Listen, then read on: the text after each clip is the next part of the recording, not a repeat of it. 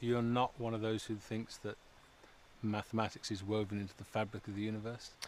I um, so the question of mathematics being the language of God, right, so to speak, of the of sort of the blueprint of reality, right?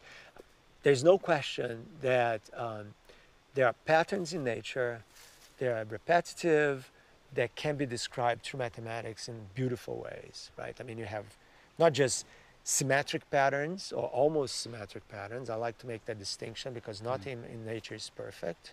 Um, and you have almost symmetric patterns. You have periodicity in the orbit of planets and things like that. Clearly, there is order, right? But I think to just say that this sort of symmetry in nature is the hidden code, so to speak, you know, that all you have to look for is that symmetry, is missing half of the story.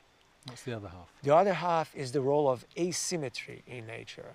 Okay. You know, there is a lot of imbalance in nature, and it's really through the complementary roles of symmetry and asymmetry that nature creates. That a lot of stuff happens because of this imbalance between the two. What's an, give an example? Yes, I have lots of examples. Okay. so one good example of that is in, in life, okay?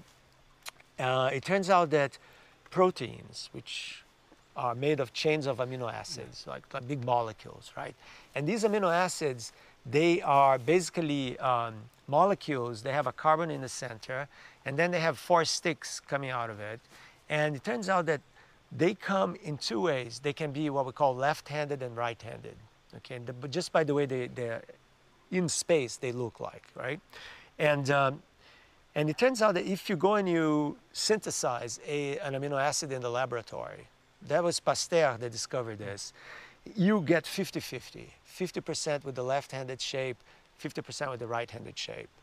When you look at the amino acids in all living creatures, okay, from uh, bacteria to a sequoia, they all come only in the left-handed oh. shape. So the right-handed shape just not there. So there is a fundamental asymmetry between the two. And hmm. without that asymmetry, the lock and key mechanism that proteins need to kind of fold and split and create, be part of reproduction, etc., wouldn't work, hmm. right? And we do not know why this is true. Okay, we just know it's true. It's, it's there. It's fundamental for life. So that's an asymmetry, which is very important, for example. How about matter and antimatter? Exactly. So there you go. You know, that's the good physics example, you know, that the fact that Dirac's equation uh, predicts that there should be as much matter as antimatter in the universe. And, you know, antimatter is nothing so esoteric that goes up instead of down or anything like that. It just means a particle that has an opposite electric charge but the same mass. So for example, the electron, which is negatively charged, uh, has an antimatter particle called the positron, which is positively charged, right? So in principle, they should come in equal amounts, right? But when you look out, you find out that there is no antimatter out there. Very, very, very little, right? And, and that's good because if there were as much matter as antimatter in the universe, we wouldn't be here. Nothing would be here. We'd foot. Exactly, right? Because matter and antimatter, when they, they come together, right, they disintegrate into a puff of gamma rays, very high energy radiation. So if you find your anti-person walking around, Avoid don't shake hands, right? And so that's the story. Um, and we do not know. I spent a long time uh, trying to understand that, you know, why, what sort of causal processes that may have happened early in the history of the universe would have biased one form over the other, right? And there are all sorts of ideas. None of them is very compelling right now. Okay. Hmm. So you need both, you know, and I think it's this yin and yang kind of thing. Yeah. You know, you can't just look at this reverential perfection, symmetry as kind of the language of God when nature is showing you that you really need both to make sense of things. But there, there is some beauty to this combination between symmetry and broken symmetry.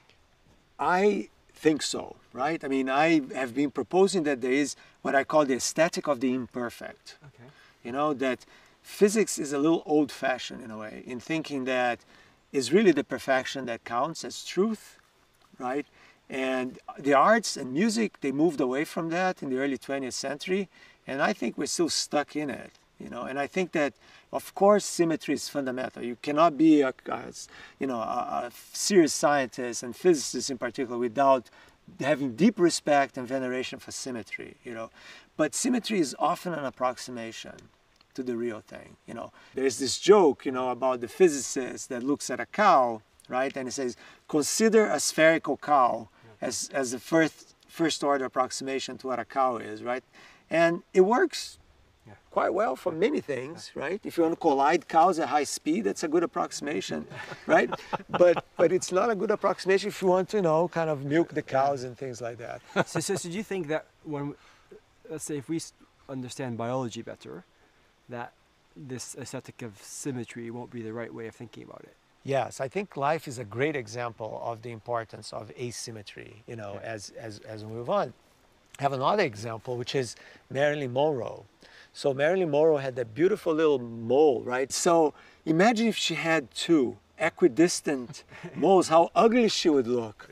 So symmetry is not always beautiful, right? I mean, there is this breaking of symmetry, and uh, and I think that we should embrace a combination of both.